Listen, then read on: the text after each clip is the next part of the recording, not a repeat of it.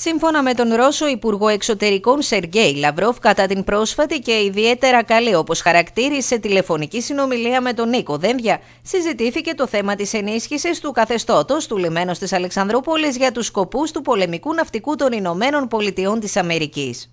Ειδικότερα, ο Ρώσος Υπουργός Εξωτερικών με την τοποθέτησή του έδειξε διακριτικά την ενόχληση της Μόσχας, αλλά έστειλε και μήνυμα προς την Αθήνα. Κατανοώ ότι η Ελλάδα είναι μέλος του ΝΑΤΟ της Ευρωπαϊκής Ένωσης. Όμως επίσης βλέπουμε ότι η Ελλάδα δεν θέλει να ακολουθήσει την οδό της επιδείνωσης των αντιρωσικών κυρώσεων. Η Ελλάδα καταρχήν δεν αισθάνεται ικανοποίηση από όσα τώρα συμβαίνουν μεταξύ Δύσης και Ρωσικής Ομοσπονδίας. Εμπιστευόμαστε τους Έλληνες φίλους μας ότι με τη σοφία τους θα κάνουν την επιλογή που ανταποκρίνεται στις πεπιθήσεις τους, δήλωσε ο Ρώσος Υπουργός Εξωτερικών, ερωτηθεί σχετικά με τις πρόσφατες αναφορές του εκπροσώπου του Κρεμλίνου σε μεταφορά εξοπλισμού στην Ουκρανία μέσω και της βάσης της Αλεξανδρούπολης.